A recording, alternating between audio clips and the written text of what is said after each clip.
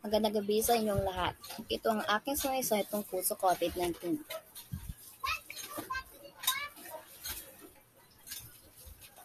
Ano ang coronavirus?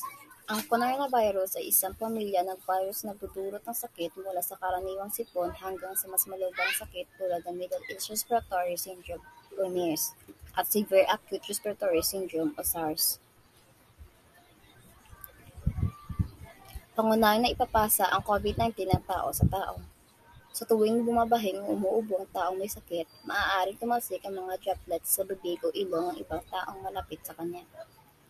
Malapit na pakikipagsalamuha sa mga taong may sakit gaya na pagyakap o pakikipagkamay. Pangunahing na ipapasa ang COVID-19 ng tao sa tao.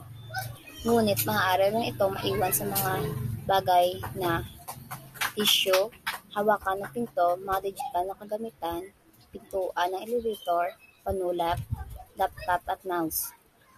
Kaya kung hawakan mo ang isang kontaminadong bagay at hawakan mo ang hawakan mo rin ang iyong mukha o mukha ng iba, maaari kayong magkasakit. Bawasan ang panganib ng impeksyon mula sa COVID-19. Lini, linisin ng madalas ang kamay. Mubo o bumahi sa loob ng siko. Huwag sa kamay. Iwasan ang paghawak sa iyong mata, ilong at bibig. Iwasan ang pakikipagsalamuha sa taong may sakit. Linisin at, linisin at disinfect ang madal, ng madalas ang mga bagay na laging hinahawakan. Sa aking paniniwala, marami ang namamatay dahil sa virus na ito na tinatawag na coronavirus disease o COVID-19.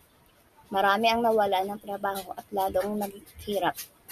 Ang mahirap na walang makapagkakakitaan ngayon, kaya't wala silang makain at hindi naging madali sa ang transportasyon at naging mahirap din ito sa mga estudyante dahil hindi na pwedeng pumasok sa paaralan.